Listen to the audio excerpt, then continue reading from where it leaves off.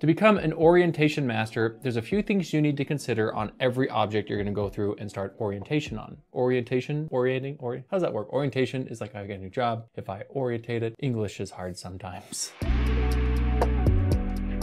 Well, if I'm gonna rotate my model in the proper way, the first thing I wanna consider is to preserve details. The details that I care about the most is like the face, weapons. If I've got a wing like this one, I care a lot about the wings. Uh, so I wouldn't wanna print this down like this. I would wanna print it up like that because those are the things I care the most about. Preserving details is number two. Number one. Number one is preserving details. Number two is reduce the amount of supports being used. If you've got something that's big and you lay it down flat, you have to use a lot of supports. If it's more pointed up, let's say, if this was like this, I wouldn't require a lot of supports on the bottom. If it's printed like this one, I only have to put a little bit of supports here. And that leads into number three, which is reduce overhangs. The more overhangs you have, the more supports you need. So if you could find a way to reduce those, it all kind of comes together to make you very good at orientation. Number four is, it's number four because it's really, it depends. And this is hollowing holes. So if you aren't considering where you're gonna put the holes in the model as, well, you hollow it, you're gonna have a bad time Generally, it's a good idea to do the hollowing in the holes for first before supporting, just in case you forget the step or you realize, oh no, I have to put a hollowing hole uh, in a place where it's gonna be super obvious. Now number five is a little bit of a tricky one, and that's to reduce cross section. Sometimes by actually uh, rotating object down, you can increase the cross section, especially if you don't plan on using hollowing. I'll have some examples for that later in this video because it's a little bit hard to explain right now. Number six, this is also a little hard to explain right now, but it's going to be mostly for engineering parts. Sometimes you can actually ignore one through five. Uh, some engineering parts require really high precision, on that one, you mostly want to print them straight up. It's the best way to get, well, depending on the shape of the model, it can be the best way to get the most precision. And optional for me, because I don't really care, reducing print time. I don't care because I want the model to, or the end result to be I mean, I'm printing it for the model, I want it. So I don't really understand the concept of you know, maybe laying things down flat so they print really quickly at the cost of damaging the overall product that's gonna sit on my shelf for, you know, years. So that little extra print time to me is not really important, but for you, maybe it is. So that's why I would say optional number seven, optimizing print time. Now I'm gonna use a primitive just to kind of show two reasons of orientation and what you're trying to avoid. Of course, one of those is anything that's parallel to the build plate. Something like this, if we try to print it and support it, it's gonna have some issues. So of course, we want to avoid anything like this. But here the issue is if we rotate it, do the whole 45 degree rule, uh, which I'm not a huge fan of, and we look at it, now what we did is, yes, we removed the parallel to the build plate problem, but we also massively increased the cross section we have to deal with. So yes, we removed the parallel to the build plate problem, but we created a couple new ones. One being the surface area we have to support. The next one, and this one might surprise you, is we've actually increased the cross section that we have to print. It's kind of like tank armor. The more it's tilted, the larger the cross section of the object. Hollowing can help, but sometimes if you're printing a mold or something like that one, hollowing is not an option. So there's another way to get around this. Instead of orientating it this way, which creates all these problems, why don't you orientate it like this and eliminate pretty much all those problems. The cross section is the same, and we really don't have much more to support. And now we also removed that whole parallel to the build plate problem. Now, because this is a corner, it's not gonna look great when it prints. Any corner that's pointed straight down and you put the supports along the side of it, it's gonna flatten out a little bit and have some damage. But let's pretend maybe this is a picture or a mold and we want that corner to look really, really good. What you could do is put a primitive there to kind of thicken it up. That way you could sand down the primitive and get a perfect corner every single time. So for the next example, I grabbed this Leonardo from the Lychee library and I brought in just a few components of it. So first, I just want to start with the sword. It's a really easy one, and the way it was orientated originally, and what I see often, is where it's laid down on its back in order to put a bunch of supports across the blade. However, this blade really can act like its own support if we orientate it up like this. This way we only have to put supports on the very bottom, and the whole blade itself, although tall and is going to increase the print time, will have no support damage on it at all and it's gonna print very beautifully. In this way, we're gonna have the best of pretty much everything. Next, I wanna talk about this piece of armor right here. The way this was orientated was more like this, and so it needed to have a lot of supports underneath and as well as some on the, on the top here, on this leading edge just right here.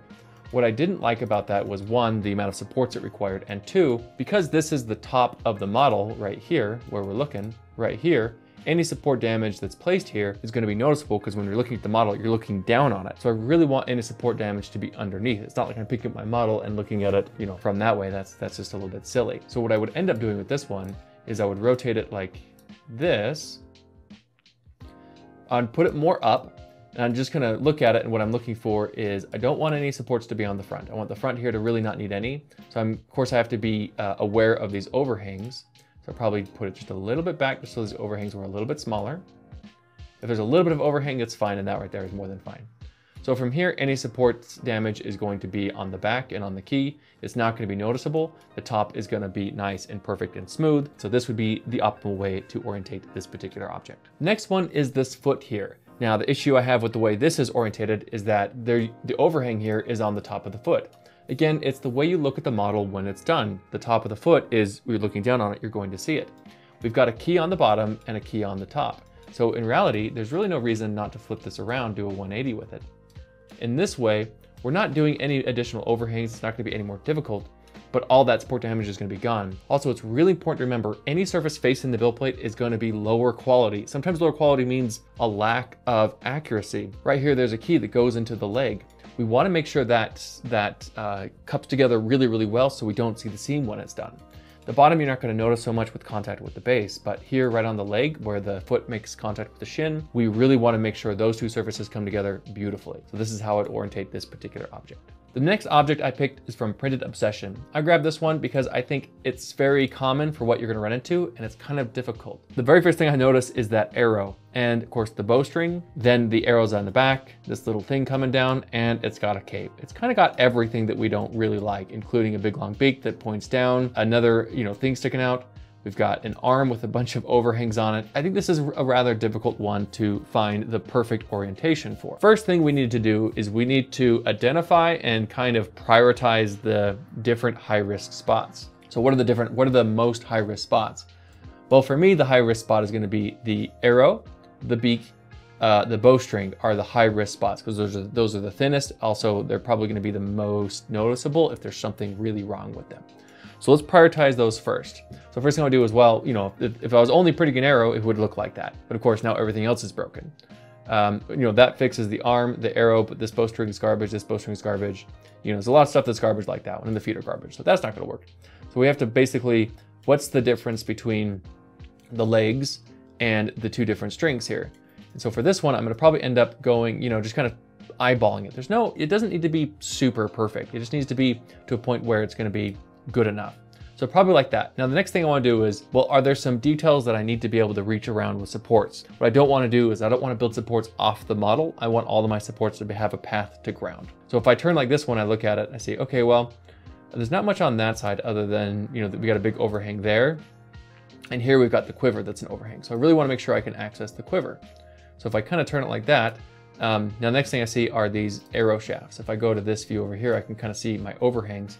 There's a lot of overhang on the arrow shafts and a lot of overhang over here. And just to make sure, are there any other things that I'm worried about? Let's look at it from the side. Looks like all this is gonna mostly print by itself. You know, if you got a support right here on that, it's gonna, you know, that's gonna print all this, this, I can reach that. So really the only concern I have here are these arrow shafts, the fact that they're not the greatest. So I can play around, can I make it better? You know, if I do something like this one, you know, what are those arrows doing? They're really not moving much. And how much am I really, you know, sacrificing to get those arrows a little bit better. And what I'm sacrificing is the arrow itself. And I don't want to do that. That's my higher risk thing I care more about. So I'm probably going to have these arrow shafts not be in the most optimal situation and prioritize the legs, this guy right here, and the whole bow. And I think this is actually going to be the best way to do it. The uh, cape right here is so thick, I'm not terribly worried about it. Of course, right here on the bottom, it's not going to be the best. But uh, the way we kind of counter everything, when you're looking at this model, you're gonna be looking at it mostly from this perspective, from the top. I think this is going to be the best way to orientate this object based on everything I kind of just went through. For this one, I grabbed it from the library. This is the Darth Vader from Trident Studio. And I picked this guy specifically because he's got some challenging parts about him. Again, overhangs are our enemy with resin 3D printing. We really want to try to avoid them as much as possible. But this one's kind of, this one works against us. If we rotate it like this on its back, we get a pretty good thing where his arm's facing up, but now we have an issue with the cape. And the cape, what I'd really like to do is make that cape down as much as possible. So if I put, I only have to support that leading edge right there and the rest of it, you know, just like this, if I only have to support this leading edge of the cape, then the rest of it's gonna print without much issue. But of course, any support damage on the cape, I probably want on the inside and not on the outside. So if I look at them from the back, most of the supports are gonna be on this half of it, not on the back. But the issue when I do this is now, uh, well, his legs and the other cape are kind of an issue. Now, I have to put supports all over the back of the cape. That's not as much of an issue because if you're looking at it from the back right here, this the larger cape is going to cover it up, but still not optimal. So we have to make a decision here. We have to try to find a different way to do this. Uh, and also, anything that's printed straight up is going to lose a little bit of accuracy due to kind of some of the stepping. So what we can do here is first, let's look at the right way to do that lightsaber. You know, we can do it like this, where the lightsaber is pointing straight up. That's going to make it print really, really well. But it's really, I mean, this lightsaber is going to be a pretty important part, but it's kind of small and kind of thin, so it's not the biggest uh, worry here. I think the biggest worry here is really getting a really good cape. So we kind of have to split the difference. And so what we want to do is let's just get a rotation from the side. I'm going to do a side view, hit O on my keyboard so I get the, um, I want the orthographic view so I can get a really, uh, just kind of a, a, a 2D preview of what this looks like as I try to find uh, shapes that are self-supporting. So shapes that are self-supporting are going to be like a Y shape where you can support the base and it comes up almost like a tree. A tree doesn't need supports on its leaves, they're self-supporting. N shapes where you can support, you know, the two bases and they kind of come together or like an arch. Arches are very strong. So we're looking for arches, we're looking for Ys, we're looking for Vs. We're looking for shapes like that. And right now what we have here is we have a bit of an arch that's going to be mostly self-supporting. And from the side here, or from the front, we're kind of getting a little bit more where we have to trade off between the arm, where we have to put some supports here, and the arm going up, which doesn't need any supports. So really the only issue I have right now is the lightsaber. The lightsaber is going to need some supports across the entire thing. So let's just go a little bit more to try to mitigate how much support I have to put on that lightsaber. And of course, you know, we have to make that that conscious decision of how far back do we go for the lightsaber in the back cape versus the front cape. And so what we're gonna do is we're gonna kind of split the difference and look for that V shape and that arch shape right here. That right there is gonna give us probably the best orientation for this guy to make sure we get a good print when we're done. The next thing we have to be aware of is if there's any sort of overhang, let's say his elbow came down right here and I couldn't reach the elbow because the cape was in the way. I would then have to rotate it enough to expose that part of the arm if it needed a support. So something to keep in mind on that one as well, because it sucks to get started supporting, get halfway up the model and realize you don't have a path to something, to a, a big island. So always check for islands, large islands higher up that you can reach them from the build plate. On this particular one, that arm doesn't really need it, but maybe this point right here does. So I could make it just to a point where that, um, I don't need to, I don't need to be able to see the point from here, but I don't want it too far under the cape. About right here, a support should be able to reach around the cape and support that little tiny triangle right there. So right here, this should be the best orientation for this particular type of model. Now let's change gears for a second and talk about some engineering parts. In this example, I've got this rim right here. Now I tried printing it this way initially and I really wasn't happy with the results because of the amount of support damage that was on this rim. And I really wanted the pictures of this to be beautiful on both sides without having to require a lot of sanding. Especially for this particular model, I wasn't planning on painting it and so I needed the resin to be really, really clean when it was done. And so what I did do is I kind of broke all the rules of orientation, but you'll see that sometimes that's the right move. Now you can see here, this is why I broke the rules of orientation. If we look at it from the side, you'll see that these are all parallel to the build plate, which is a bad rule uh, or bad thing to do. You don't want to do things parallel to the build plate. You always want to do an angle. Well, the reason why this worked and it did work very, very well, is because this was designed where everything was gonna be flat sand when it was done. So yes, there's gonna be some blooming and yes, there's gonna be some damage, but the final product, when it came together, was gonna have no support damage and very few layer lines. This is an example of where in engineering, sometimes the rules can be broken. Sticking with the same model, I have this windshield right here, which is really, really thin. I ended up supporting it this way because what I wanted is to not get any supports on any part of the product itself, only on the back. This ended up being more than enough to print this thing because it was so thin. I ended up printing it out of a clear resin and it ended up working out really, really well. And here you can see the final results where the wheels right here have no support damage on them. They kind of, the way they connected together made it so that you really couldn't see anything. And even the tires, it all came together really, really well. So this is an example where engineering sometimes has slightly different rules than what we would do for other models. As I stated in the beginning, this is a topic I could really go on and on and on and on about, probably for days, and it's pretty complicated. So if there's anything that I said that you maybe struggled with or you want to know more about, let me know in the comments, or you could join us on our Lychee Slicer Discord and you can reach out to me there. And as always, remember to like and subscribe to our YouTube channel as well as our other social media. And thank you for watching and have a good day.